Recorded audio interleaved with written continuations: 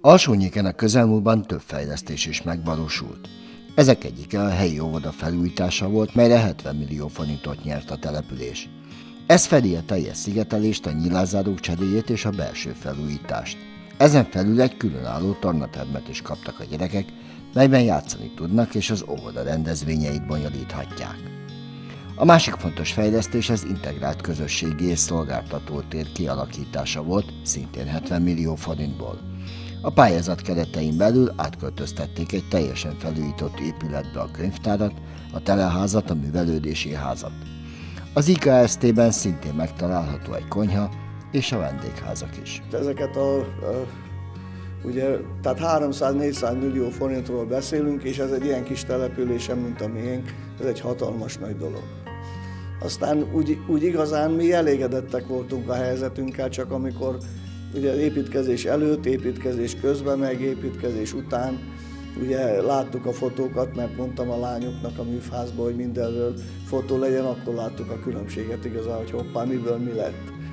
És, és, és, és ez, e, tehát, tehát gyakorlatilag ezt önerőből még, még gondolni se lehetett rá.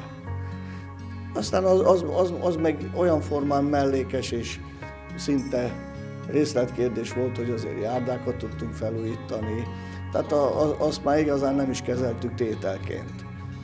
Úgyhogy én úgy gondolom, hogy ez a 2010 óta eltelt időszak, ez, ez, ez mindenképpen pozitív volt a kis településekre. Szintén a pályázat keretein belül épülhet meg alsónyéket Bátaszékkel összekötő kerékpárút. Ez is egy közel 300 millió, 271 millió forintos beruházás. Van ugyan évtizedek óta Alsónyék és Bátaszék között egy gyalogjárda, ami az autópálya építkezés alatt meg tudott úgy újulni, mert volt egy lépcsős szakasz, ami, ami gyakorlatilag annyiba javította a helyzetet, hogy babakocsival lehet most már közlekedni, kerékpárral lehet, de ez most, ez a korszerűsítés, ez mindenképpen jót fog nekünk tenni, hiszen van egy 100-150 méteres szakasz a Lajvérpataktól a, a Bátaszék első járdájáig, ahol ki kell menni az 56-os vagy 55-ös útra. Tehát azért az veszélyes lehet. Most külön hidat fog kapni a kerékpárút, külön nyomvonalat kap, tehát most már eljutottunk odáig, ugye, mert az iskolánk az Bátaszéken van, de hát ez nem mostani dolog, ez már így volt a háború előtt is, tehát ez egy ilyen speciális helyzet Alsónyék és Bátaszék között, tehát akár az alsó tagozatos gyerekeket is nyugodtan útra lehet indítani kerékpárra. Dózsa Pál Tibor Alsónyék polgármesterének elmondása szerint az említett fejlesztések a közösség megelégedését szolgálják, és egy élhetőbb települését teszik Alsónyéket. A sárköz részeként is számtalan hagyományjal és értékkel rendelkeznek. Hát eleve a, a, ugye a sárköz egyik települése vagyunk, nagyon jó az együttműködés a sárközi településeinkkel, e, közös programjaink vannak, láss sárközi lakodalom, sok minden egyéb, illetve amire én nagyon büszke vagyok, mert e, valamilyen szinten azért nekem is van ehhez közöm, ugye volt itt az autópálya építkezés, és itt Alsónyék határába egy nagyon komoly lelőhelyet találtak a lengyeli kultúráról. A feltadást egyébként a világ tíz legjobb régészének projektjei közé választották.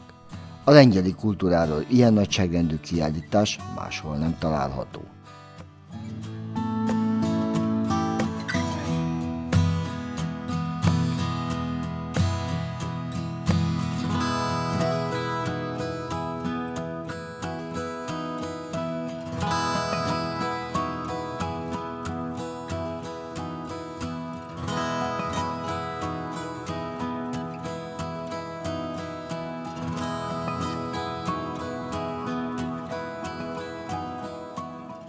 A kiállítás és a vele kapcsolatos kiadványok rendkívül nagy vonzerővel rendelkeznek.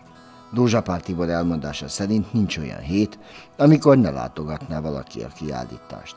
Ezzel egyetemben az ide látogatók körében népszerűbbé válhat a sárköz kultúrája is.